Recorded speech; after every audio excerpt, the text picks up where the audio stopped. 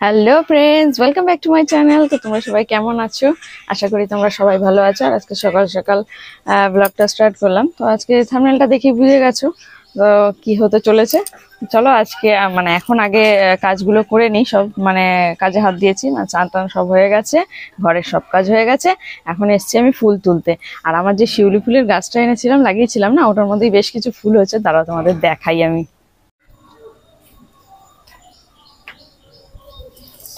এই দেখো কতগুলো ফুল হয়েছে আর সব ফুলগুলো পড়ে গেছে। দুদিন আমি পুজো দিইনি আর সব ফুল পড়ে পড়ে নষ্ট হয়ে গেছে।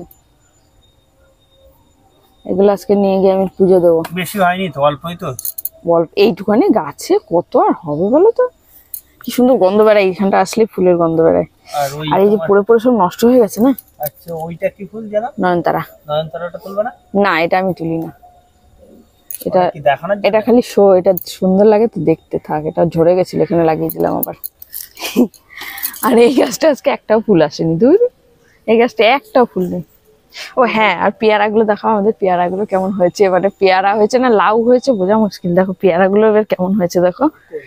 সিজনের মানে বর্ষার সময় তো একবার হয়েছিল তারপরে এখন দেখছি আবার হয়েছে নতুন করে।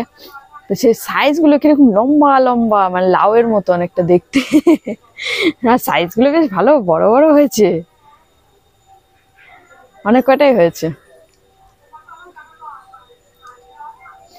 এগুলো মনে পাড়ার মতো হচ্ছে না? একটু পাকা পাকা লাগছে না? হ্যাঁ। এই যে এইটা এইটা? হ্যাঁ পেয়ারা। হ্যাঁ? তুমকো তোমার কাছে তো অনেকগুলো ফুল আছে। হামকো তুমকো বলতে বলতে দেখছি তোমার কাছে অনেকগুলো ফুল। তোমার কাছে ফুল নিয়েছো? তোমার নেওয়া হয়ে গেছে? হ্যাঁ, তাহলে আমি দু তিনটে নিচ্ছি। আমার কাছে একটাও হয়নি। একটাও হয়নি আমার হ্যাঁ। হয়নি এই যে শিউলি ফুল হয়েছিল কটা নিয়ে যাচ্ছি। আর এইটা নেব হ্যাঁ। এই এইগুলো একটু সাদা সাদা লাগছে মনে হচ্ছে পাক মানে পাকা পাকা লাগছে। হ্যাঁ। পাকে নিয়ে মনে হচ্ছে কেন কি বলতো মানে এগুলো একটু বড় হয় এই পেয়ারা জাতটাই একটু বড় বড় হয়। পাড়ার পরে যদি দেখি কাঁচা কাঁচা কেমন লাগবে ওই জন্য ভয়ে পারি না। কিন্তু কালারটা দেখে মনে হচ্ছে যেন পাড়ার মতো হয়েছে সাদা সাদা লাগছে। সেদিনকে একটা পেরেছিলাম যেটা অনেক বড় হয়েছিল না সেটা পেরে ওই গুড্ডুদের দিয়েছিলাম কিন্তু ওটা বলে পোকা হয়ে গেছে ভেতরে। পোকা পোকা। হ্যাঁ কিন্তু হাতে টিপলাম বেশ পরিষ্কার পরিষ্কার।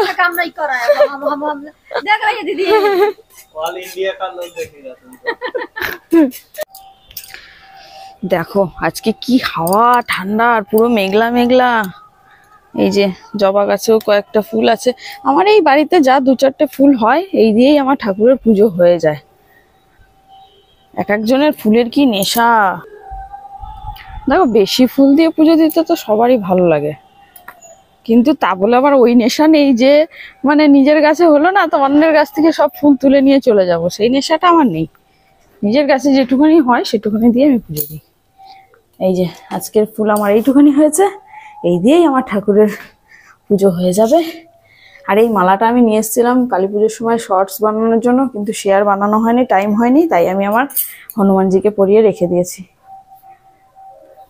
তো চলো, আমি আগে পুজো টুজোগুলো দিয়ে নিই, তারপরে আবার ফিরে আসছি। যে দেখো বন্ধুরা, আমার কিন্তু রান্না বান্না কমপ্লিট হয়ে গেছে, আর এটা করেছি আমি মেথি শাক ভাজা বেগুন দিয়ে মেথি শাক ভাজা। এবছরে ফার্স্ট মেথি শাক ভাজা খাচ্ছি, আর মেথি শাক ভাজা খেতে আমার খুবই ভালো লাগে। মানে এর যে একটা গন্ধ ওই গন্ধটা আমার এত ভালো লাগে, মনে হয় যেন পুরো ভাতটাই আমি এটা দিয়ে খেয়ে নিতে পারব। আর আজকে যেহেতু নিরামিষ, তাই জন্য করেছি হচ্ছে আলু দিয়ে সোয়াবিন দিয়ে তরকারি আর শাক ভাজা। আর কিছুই করিনি, আর এখন ভাতটা আপাতত বসিয়েছি, কারণ ভাতটা আমি সবসময় লাস্টেই বসাই, একটু গরম থাকার জন্য। আর মেয়ে গেছে স্কুলে, আর বাবা, ওর বাবা গেছে মানে তোমাদের দাদা ভাই গেছে, ওকে আনতে এখন। মানে ওর এখন পরীক্ষা চলছে। তো চলো, এবার আমরা মানে মেয়ে আসলে মেয়েকে স্নান টান করাবো, করিয়ে খাওয়া দাওয়া করব। আর হ্যাঁ আমি কিন্তু মানে নাকটা ফোটাতে যাব হচ্ছে গিয়ে বিকেলবেলার দিকেই যাওয়ার ইচ্ছা আছে, কিন্তু আমার না ভীষণ টেনশন হচ্ছে, না তো ভয় লাগছে। ও হ্যাঁ কোথায় ফোটাবো সেরকম নাক তো আমার ফোটানোই আছে, আমি এই জায়গাটা ফোটাবো, এই জায়গাটা। আমার খুব শখ, অনেক দিনের শখ ছিল, তো আজকে সেই শখটা পূরণ করতে চলেছি। তো এটা ফোটাবো, কিন্তু খুব ভয়ও লাগছে। জানি না কি করব ওখানে গিয়ে। খুব ভয় লাগে আমার এইসব কিন্তু ওই যে শখ, শখের কাছে ভয় টয় মানে ভয়কে জয় করতে হবে। এটাই হচ্ছে ভেবে নিয়েছি ভয়কে জয় করব, তাহলে আমি নিজের শখটা পূরণ করতে পারব। তো চলো, এখন খাওয়া দাওয়া করি, আর যখন হ্যাঁ ওখানে যাব, তখন দেখাবো আবার। আদৌ ফোটাবো কিনা জানি না মানে ফোটাবো না কি আবার ভয়ে চলে আসবে সেটাই বুঝতে পারছি না এখনও। তো চলো আবার যখন যাব, তখন দেখাবো। তো এই যে ফাইনালি আমি রেডি আর এখন যাচ্ছি নাক ফোটাতে তাও আবার এখানটা। তো চলো গিয়ে দেখি মানে এখন যাব হচ্ছে পার্লারে পার্লারে গিয়ে ফোটাবো যাই গিয়ে দেখি কি অবস্থা হয় আদৌ ফোটাতে পারব কিনা জানি না আর হ্যাঁ যদি আমি ফোটাবো ঠিকই মানে ফোটানোর পরে আমি বলব সঙ্গে সঙ্গে আমাকে নাকেরটা পরিয়ে দিতে হবে। তাহলে যদি পরিয়ে দেয় তাহলে পরে ফোটাবো নাহলে আমি ফোটাবো না কারণ ওই নাকের মধ্যে দড়ি নিয়ে আমি ঘুরে বেড়াতে পারব না। তো চলো যাই দেখি কোথায় ফোটাবো, তাও জানি না। যাই আগে, গিয়ে তারপরে দেখছি কোথায় ফোটানো যায়। চলো, তোমাদের দেখাবো সবটাই।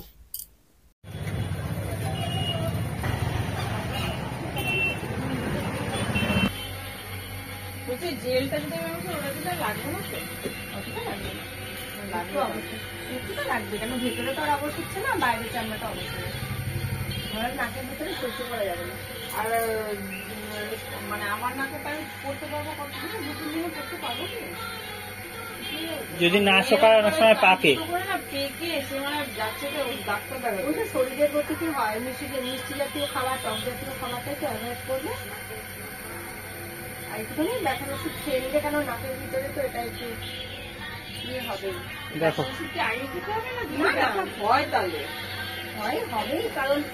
ব্যথা হবে? হয়, হ্যাঁ।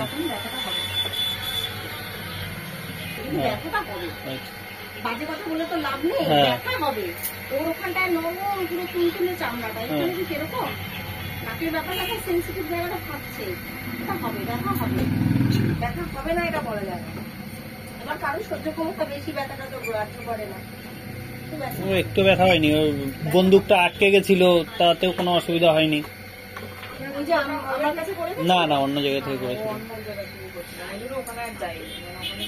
ওই যে আটকে গেছিল আটকে গেছিল টানাটানি করছিল বন্দুকটা অনেক সময় না ওটা কিন্তু আমাদের ওইটা আগে থেকে ট্রাই মেরে নেবেন দেখে নেবেন আপনি। হয় না অনেক সময় কি গিয়ে হয়তো আটকে যায়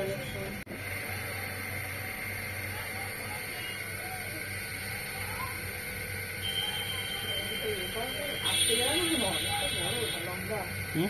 দাম থেকে অনেকটা লম্বা এগুলো একটু মাথা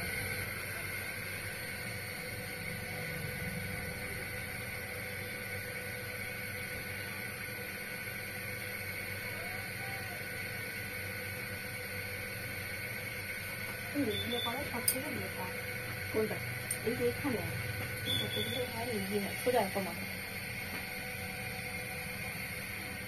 কতগুলো হয় ইজি হয় সোজা একটা মাথা হাতটা দেখে নিয়ে নিই, হুম? হাতটা দেখে নাও হাতটা দেখে নাও, এই হাতটা দেখে নাও।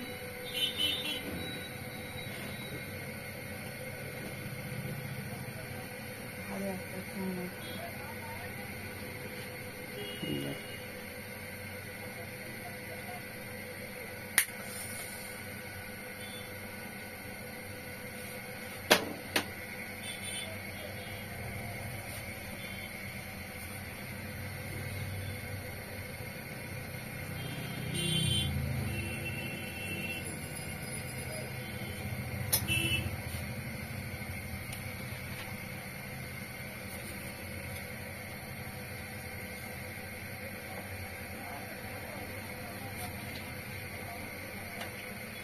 একটু মাথা নাও ওখানে।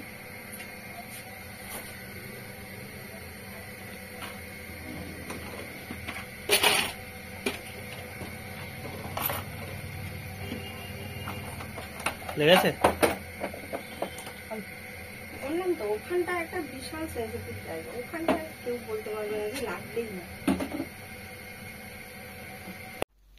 তো হ্যালো বন্ধুরা, এই যে আমরা চলে এসেছি নাক ফুটিয়ে, আর এই যে নাকটা ফুটিয়ে ওদের ওখান থেকে যে মানে যেটা দিয়ে আর কি নাক ফোটায় সেটাই লাগানো রয়েছে। তার কারণ আমি যেটা নিয়ে গেছিলাম সেটা ওরা পড়াতে পারবে না এখন মানে পড়াবে না বলল, পড়ালে নাকি ছোটটা মানে ফুটোটা একটু সরু বেশি হয়ে যাবে। যার জন্য বলল যে ইসে করতে মানে এখন আপাতত এটাই থাক। আর দু একদিন গেলে তখন অন্যটা চেঞ্জ করে দিতে। আর আমার মানে এসে খাওয়া দাওয়া হয়ে গেছে, তার কারণ খাওয়া দাওয়া করে আমি এই যে আসার সময় ওষুধ নিয়ে এসেছিলাম, তার কারণ ব্যথা ব্যথা হালকা করছিল। আর ওখান থেকে বলল যে ব্যথা করতে পারে, যার জন্য একটা ওষুধ নিয়েই রাখতে। তো আমি আসার সময় শুধু দোকান থেকে ওষুধ নিয়ে চলে এসেছি আমরা। আর এসে খাওয়া দাওয়া করে আমি ওষুধটা খেয়েও ফেলেছি, কারণ ব্যথাটা মাঝে মাঝেই করছে অল্প অল্প করে, এখনও করছে। যার জন্য ওষুধটা খেয়েই ফেললাম, নাহলে আবার রাত্রে দেখা গেলো ঘুমাতেই পারব না। তো যাই হোক, দেখো, এখন ভালো ভালো মানে আবার ওই নাকেরটা পড়তে পারলে হয়। একটু ভয়ও লাগছে যে মানে ব্যথাটা করছে তো, ভাবছি কি, মাঝে মাঝে যে না বেশি জোরে ব্যথা করলে খুলে ফেলে দেবো, বাবা, কেমন যেন ভয় ভয় লাগছে, কষ্টও লাগছে। তো যাই হোক, ওষুধ নিয়েছি মনে হয় কিছু হবে না। তো চলো, আজকের ভিডিওটা আর বেশি মানে আর কন্টিনিউ করব না, তার কারণ আমার অতটা ভালো লাগছে না এখন আর। তো চলো, এবার আজকে এই পর্যন্তই থাক, সবাই ভালো থেকো, সুস্থ থেকো, দেখা হচ্ছে আবার কালকে।